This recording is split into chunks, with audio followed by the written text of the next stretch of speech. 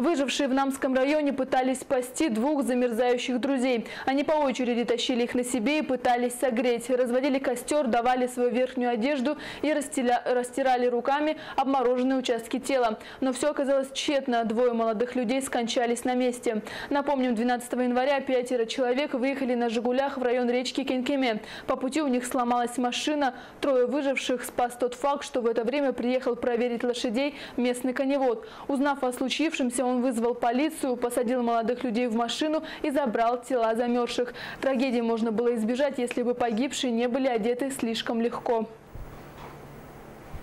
Э, Двое человек, к сожалению, умерли от э, переохлаждения. Трое человек спаслись. И они, э, ну, с счастью, они, их жизни не угрожает. Они, э, ну, э, у одного человека есть обморожение лицевой части, и стационарной помощи они не нуждаются. В семье, где произошло несчастный случай, оказана нашим участковым м, врачом необходимая психологическая и лекарственная медицинская помощь.